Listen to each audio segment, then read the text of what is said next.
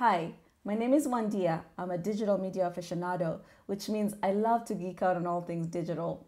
Today, I want to show you how to quickly add someone to LinkedIn or invite someone uh, to connect on LinkedIn.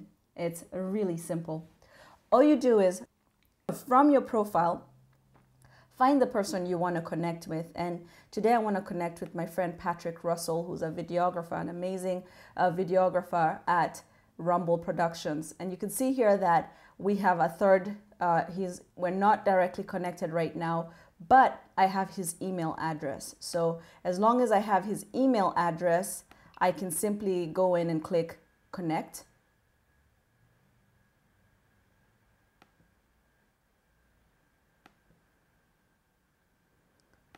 Enter his email address. That's Patrick Walker Russell at gmail.com and say, I'd like to add you to my professional network on LinkedIn, Wandia. That's already populated by LinkedIn, and they'll send out a message saying, Hi, Patrick, you know, I'd like to connect you. They actually add the salutation into the email, so you don't need to add that. Then simply send the invitation, and my invitation to Patrick Russell has been sent. I hope that tip was helpful. If you need additional information, feel free to reach me at www.wandia.info.